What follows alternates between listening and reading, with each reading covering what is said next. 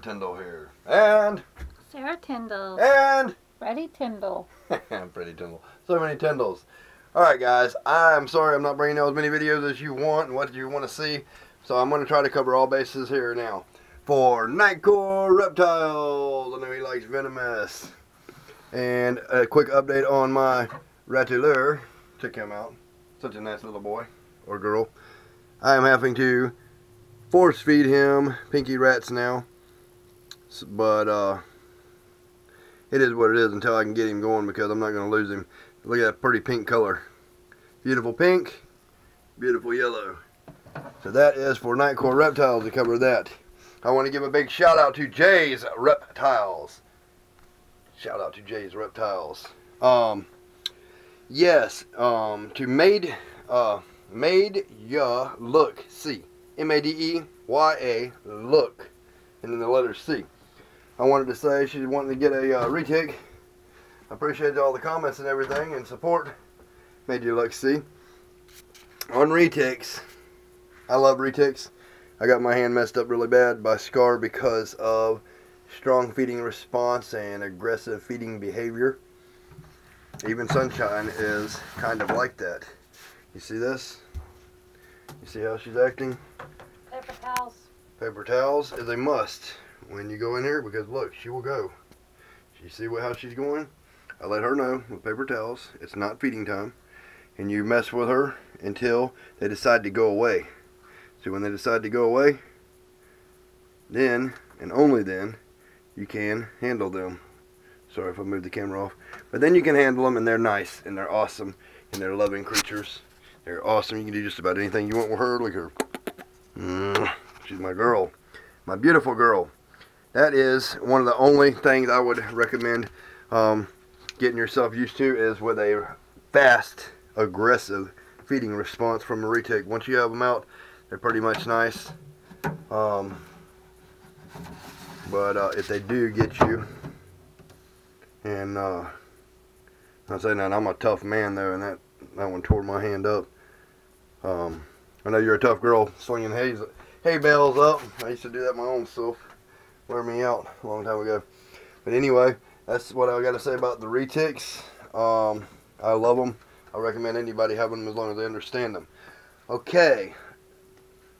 Zero one asked for a T care sheet. I don't have very many tarantulas now, but as you can see, I am doing something. A lot of people don't want to use these critter cages because of the fact they don't they have too much ventilation. So what I have done is I have hot glued this. This is my own design.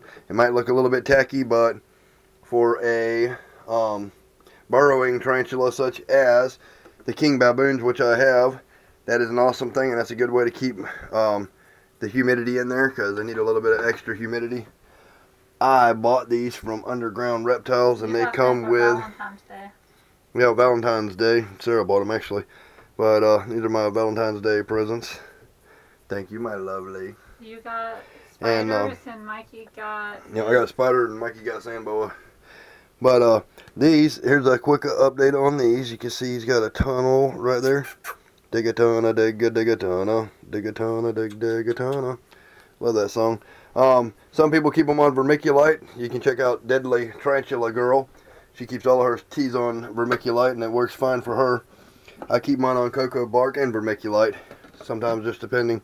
I'm going to have some more elaborate setups before long.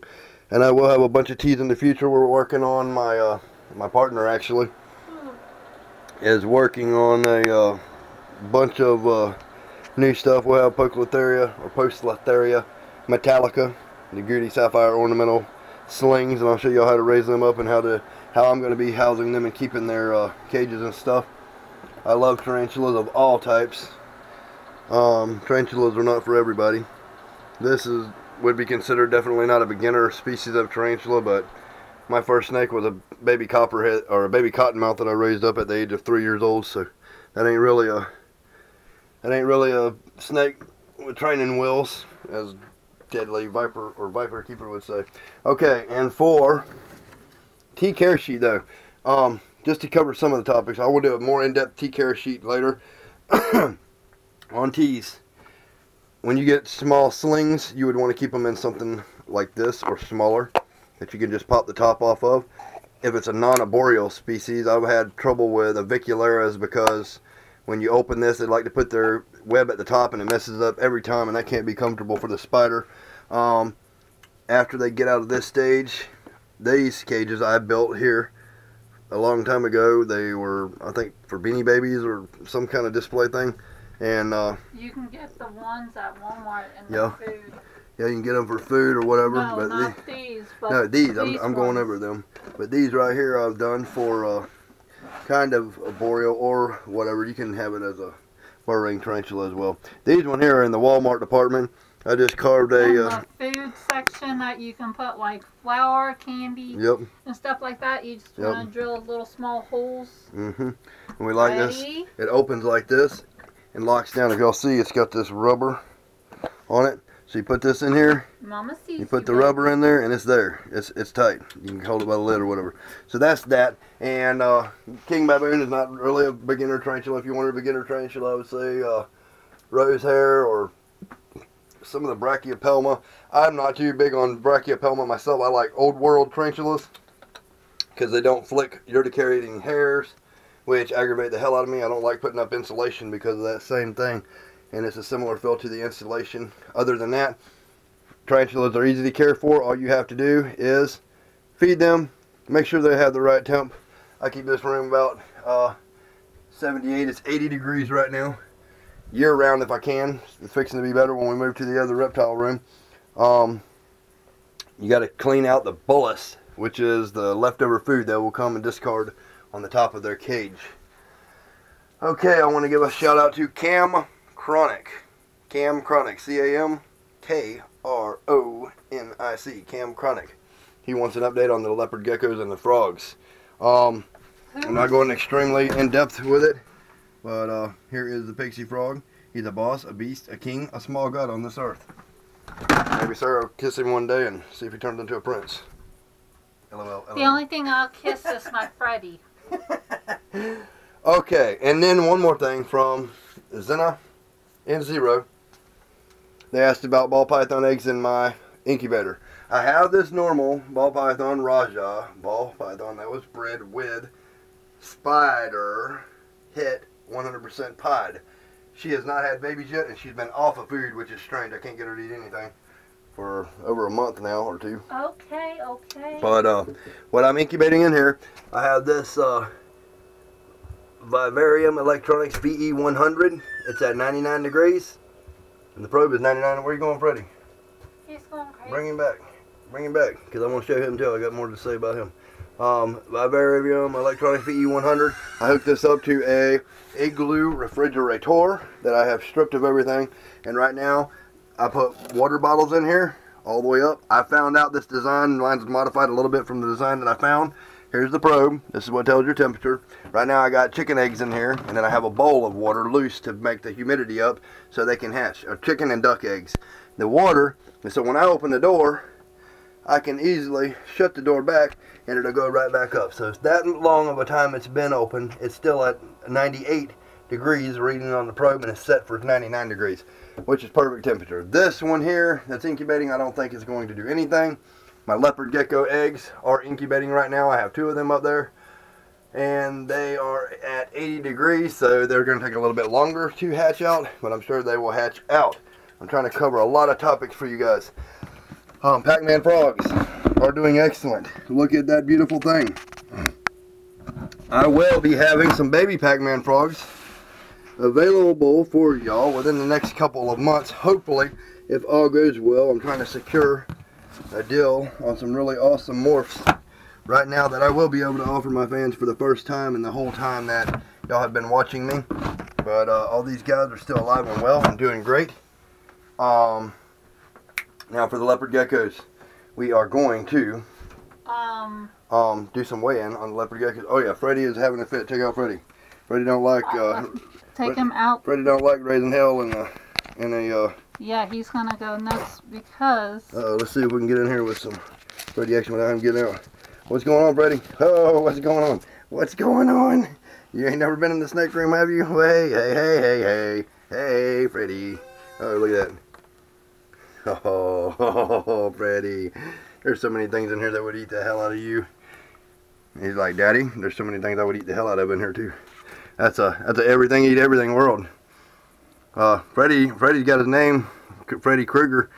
Shit, he'll eat a baby Pinky Mouse. I ought to film that for y'all one day.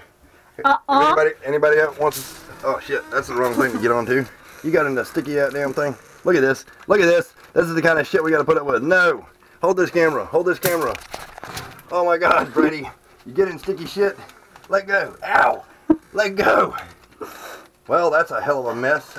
I guess I'm to get a lot of hate from this, but y'all can deal with it. Don't get in sticky shit. I told you. Damn. Ow. hey, shit happens, people. You have to deal with it. Get in your bag. Get in your bag. Get in your bag. This is a dangerous place in here. Yeah, anybody wants to see Freddy eat? God damn, he's sticky. Anybody want to see Freddy eat a pinky rat? Leave it in the comments. And, uh, Freddy probably won't do that again. We're in a sticky mess now. But I will let her, uh, deal with him. As far as anybody wants to know, yes, we do have babies. They're in the oven. Yes, they are in the ooth. And don't they call it ooth? In or- the pouch. Wait a minute, ooth? What's a ooth? Oh, never mind. I'm thinking about. I think I'm thinking about a uh, praying mantis thing as a ooth or ootheca or It's something. their pouch. Their pouch. Pouch. Their pouch. Yeah. Well, it says uh, out of ooth. Ow! On a lot of stuff, it says out of ooth. I told you don't do it. It says a lot of out of ooth. All right. Well, hurry up and do that, and come back and help me hold this camera. This is live reality TV, people. That's that's a fucked up situation they're getting in that thing. But Freddy will do what Freddy does. Um. All right, we are going to deal with some leopard geckos. I'm going to show y'all some leopard geckos. We have got them. They're all eating now. Picked up weight from last time video. They were doing really bad. Actually, they're doing a lot better now. Let me see. Uh, I'm going to turn the scale on. Me make sure it's weighed in grams. Yes, it's in grams. All right, this guy, I don't know what they weighed last time, but they're definitely going up. This guy now weighs 17 grams. 17 grams. They're going up in weight. Doing absolutely great, actually. So, some of them picking up weight more than others. Let me see here. This is our Blazing Blizzard. She got a fat tail. She's been eating the hell. She's been eating the hell out of those things. Our Blazing Blizzard now weighs, what does she weigh? This girl's getting big. I'll be breeding her probably next year or the end of this year, depending on how much weight I can get on her. She weighs 36 grams. Yeah, big, fat, plump, juicy tail. This is what a leopard gecko is supposed to look like, people. Not like the ones you've seen in my last video on leopard geckos. They were doing rough, like I said, in some of them, but some of them have went off of food. And now they are back on food. And uh, this is one of them that I don't know what exactly is going on with her, but she's not doing too well. She didn't want to eat much of anything. I've had to even force her a couple times. And you can see how you can kind of, you can see hip bones in here. I don't know how she's still alive. I mean, she's got food offered to her and everything. Let's see if we can get her on the scale, what she weighs. I don't even like showing this on film, but I don't have nothing to hide with you guys. There's shit happens sometimes and we can't do anything about it. Um, she weighs 25 grams. I think that's an upgrade from last time when she was there. But she has uh, she has all kinds of uh, food offered to her. And if she starts picking up, maybe she'll come out of that poor state of health that she's in or was in. She was in a poorer state of health. But she's doing a lot better now. I got this one already. This one. Here is pineapple, super hypo, tangerine, carrot tail, giant. Look at that. How badass is that? Let's see if we can lick the camera. You gonna lick the camera? So Mama's got lick something else. Oh, oh, oh. You like your daddy? These are an awesome animal, people. He's heavy. He was 90, 100 or 90 something last time. What was he last time? like 90 something. He's 92 now, is what I'm reading. Hold on. Stay there. Let's Uh, yes, they don't listen. see. Stay there. He He's is too 90, interested in what Mama's got. 92 grams. That is Pineapple. He is awesome. Here, a little bit of, uh, hold that. A little bit of a way to tell y'all how to tell. One thing, they got balls on a male. Can, are you seeing this? And then this V right here. Are you seeing what I'm trying to show them? This is how you sex the leopard gecko. This is the ball sack, I guess. And this V indicates that that's a male. And sometimes you'll see some waxy substance here on that. If it's a V, it's a male. Let me get a female.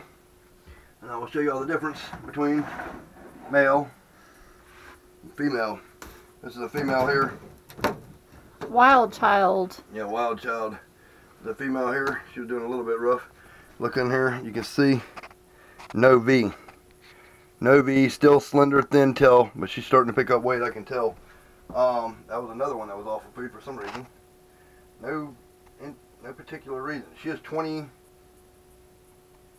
she is 28 grams. 28 grams, people. And she was, at one point, a lot bigger. You can see the difference. This is a healthy leopard gecko. This is a not so healthy leopard gecko, but not worth giving up on. She's fixing the shit now, so she's still doing good. Um, pineapple never misses a meal, and you can't stop him from eating if you wanted to. If you stopped feeding him for any reason, he'd probably eat his own stuff. But uh, hopefully this old girl will uh, start doing better. Yes, she uh, she ate the shit out of her mealworms. This is empty and it was full just the other day, so I'll refill this. I'm going to refill all of her, uh, all of these actually. Oh. This is after two days. We change these out every two days now instead of every three. This one's going into another shed here and he has wrecked his pen. He's thrown stuff everywhere. We have the D3 calcium and this stuff and everything else. This is the Raptor, also a male. You see the ball sack and uh, son, V. You don't even want it because you run from them. He is now um 31 grams. And look how pale color he is because he's fixing his shed. 31 grams. What an awesome animal. Ain't that awesome? Edward Tyndall says, Gecko Cam! That's what Viper Keeper says about his stuff. Oh, that's so funny. Yes, uh, oh, and to haters out there, don't compare me to Viper Keeper, because I'm not Viper Keeper. Viper Keeper's not me. He does things his way. I do things my way. He's not a know-it-all, and neither am I. Um, some of y'all might think that. But, uh, that is what it is. Um, we're going to have to get more mealworms for these. We'll do that after the video. Um, what have I not covered? I tried to get a bunch of stuff in here for you guys at one time. Um, I'm still trying to breed these uh, rat snakes, Everglades rat, Scillus, Everglades rat, het for Scillus. And then what about Jabba? Badass Alabama, pink looking one. Jabba, I covered him, the Hutt. Oh, and we got that. What is that? Oh, dot peep. Oh, a teat peep. oh, that peep, that peep's in a good place. Not gonna be good for that oh. one. You want to feed Jabba? You want to feed Jabba?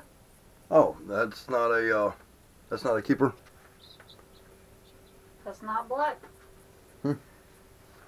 Um, can Jabba eat that?